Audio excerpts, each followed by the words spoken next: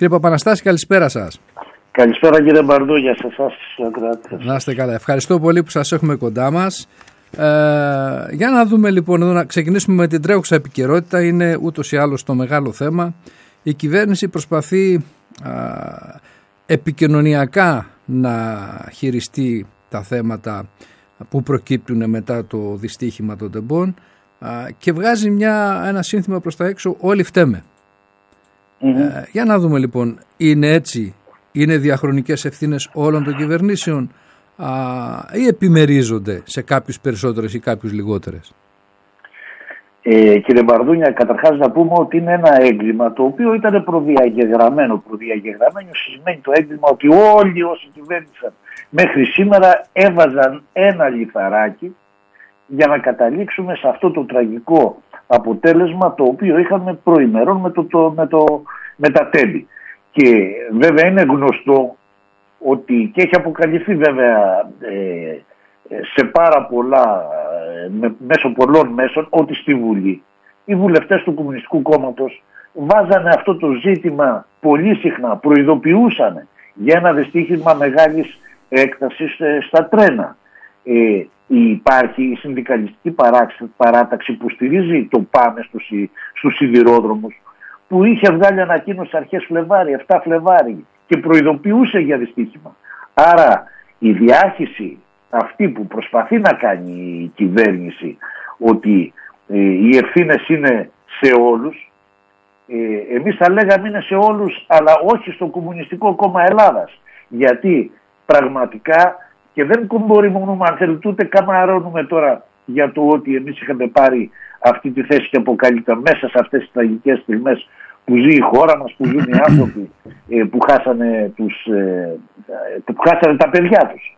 Άρα λοιπόν είναι πολύ σημαντικό ε, να ξεκαθαρίσει ότι η κυβέρνηση, ο ΣΥΡΙΖΑ, το ΠΑΣΟΚ και μάλιστα υπάρχουν και καταγεγραμμένα όλα αυτά. Φέρνουν τεράστια ευθύνη. Τι να πούμε.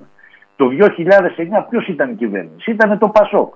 Ποιος έσπασε το ΝΟΣΕ σε δύο εταιρείες ε, με εντολή της Ευρωπαϊκής Ένωσης; Το 2013 ήταν η Νέα Δημοκρατία με το ΠΑΣΟΚ. Είχαν φέρει τότε τον 41-99 τον νόμο, ο οποίος ιδιωτικοποιούσε με το μέσο του ευρωπαϊκού κανονισμού τα τρένα. Το 16 ήταν η κυβέρνηση ΣΥΡΙΖΑ.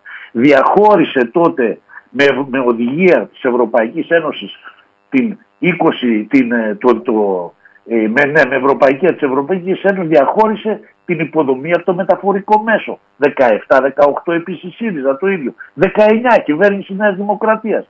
Ολοκληρώθηκε η εξαγορά της τρένωσή. Ποιος φταίει; Αυτά είναι πράγματα ξεκάθαρα και να σας πω κάτι. Όσο επικοινωνιακά κι αν το παίξουν, επιτρέψτε μου την έκφραση, στη συνείδηση του λαού έχει ξεκαθαρίσει. Το, το... Έχουν ξεκαθαρίσει οι ευθύνες. Και αυτό φάνηκε στην προχθεσινή συγκέντρωση σε όλη την Ελλάδα. Στις προχθεσινές συγκεντρώσεις. Ε, αυτό ήθελα να σας ρωτήσω. Α, αυτή η πολύ μεγάλη συμμετοχή κόσμου και θα έλεγα κυρίως και νεολαίας θεωρείτε ότι ε, δημιουργεί νέα δεδομένα στο πολιτικό σκηνικό; Γιατί κάποιοι ε, βγαίνουν προς τα έξω και λένε κοιτάξτε να δείτε ναι οι νέοι αλλά θα ψηφίσουν αντισυστημικά, θα πάνε σε μικρά κόμματα. Ε, Όταν λέω μικρά κόμματα ξέρετε εννοώ κάποια εξωεκνοβουλευτικά ναι, κτλ. Ναι, ναι, ναι, ναι. Προχθές σε αυτές πραγματικά τις γιγαντιές συγκεντρώσεις που γίνανε σε δεκάδες ε, πόλεις σε όλη την Ελλάδα μπροστά στις διαδηλώσεις ήταν οι νέοι. Οι νέοι αυτούς που συνειδητά προπαγανδίζουν μια απαξίωση τα μέσα μαζικής ενημέρωσης. Μιλάνε για κατάπτωση της νεολαίας. Οι νεολαίοι αυτοί μπήκανε μπροστά. Γυμνάσια, λύκεια, πανεπιστήμια. Σηκώσανε τις σημαίες ε, της αντίδρασης και της αντίστασης απέναντι σε αυτές τις πολιτικές.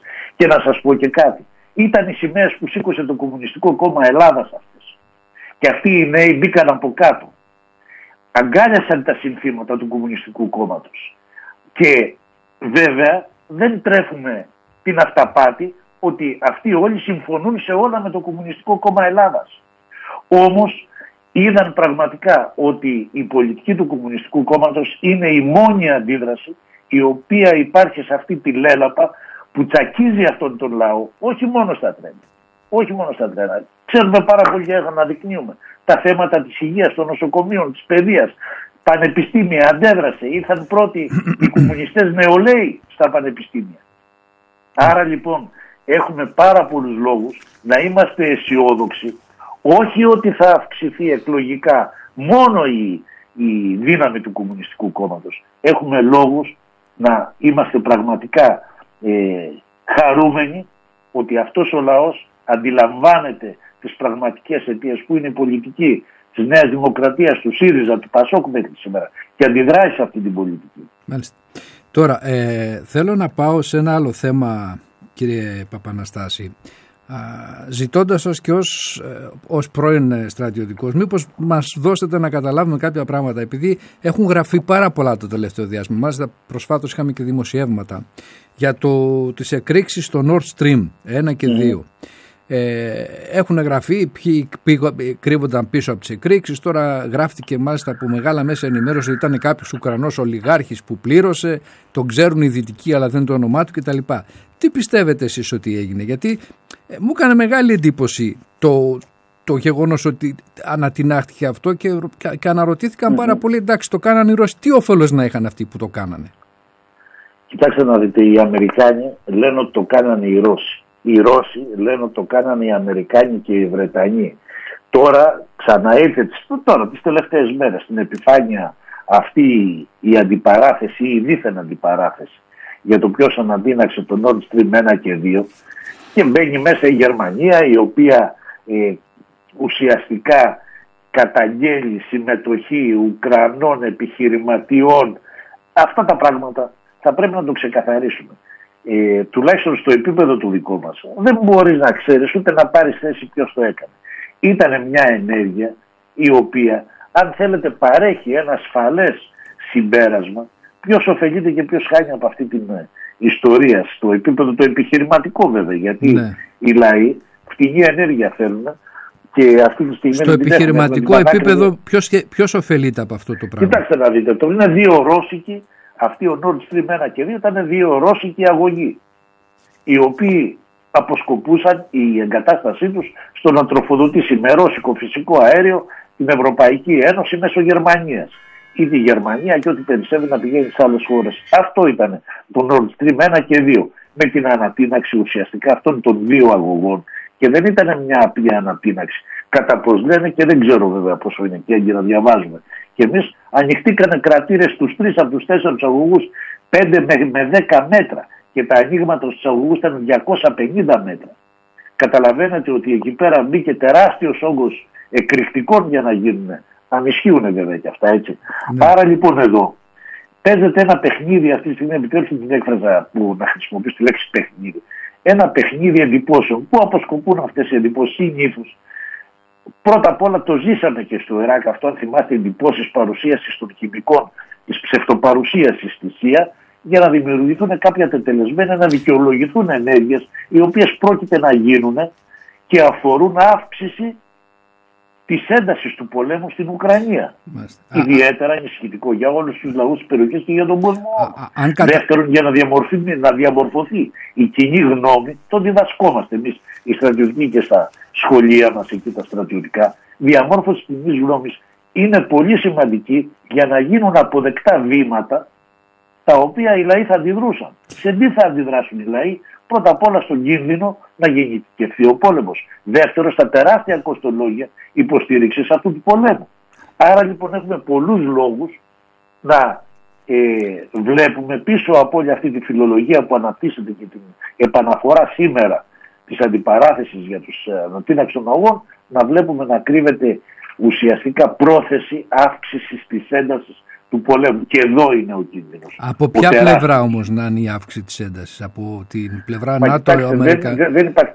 Αυτή τη στιγμή από δημοσιεύματα λένε ότι στην Ουκρανία απαιτούνται 100.000 βλήματα πυροβολικού και όλμων το μήνα. 100.000. Ποιος θα τα κατασκευάζει, ε, ποιος θα τα πληρώσει, ποιος θα, ποιος θα, τα κατα... ποιος θα τα πληρώσει; Βλέπουμε ποιοι τα πληρώνουν. Είναι δεδομένο ότι θα τα πληρώσουν οι λαοί και θα πληρώσουν όλο αυτό τον πακτολό των δισεκατομμυρίων για τους ανταγωνισμούς δύο υπεριαλιστικών πόλων που εκπροσωπούν συμφέροντα και στηρίζουν συμφέροντα μονοπωλίων. Άρα λοιπόν εδώ είναι ξεκάθαρα τα πράγματα. Και δυστυχώς να πούμε ότι σε αυτή την συμμετοχή πρωτοστάτη κατά το ποσοστό της η ελληνική κυβέρνηση. Είναι άγνωστο ότι έχουμε στην Το Κομμουνιστικό Κόμμα το περασμένο τις αρχές του καλοκαιριού που μας πέρασε είχε αποκαλύψει τους τεράστιους όγκους ε, Βεβαίως, θυμάμαι τα δημοσιεύματα του Ριζοσπάστη. Ναι. Σήμερα αγνοούμε.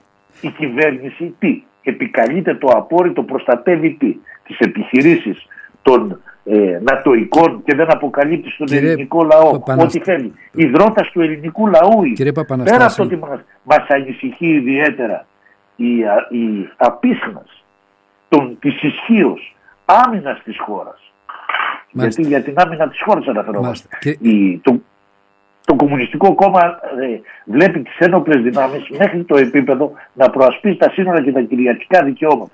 Η κυβέρνηση έχει στείλει στρατεύματα στη Βουλγαρία αυτή τη στιγμή, έχει στείλει οπλικά συστήματα στη Σαουδική Αραβία.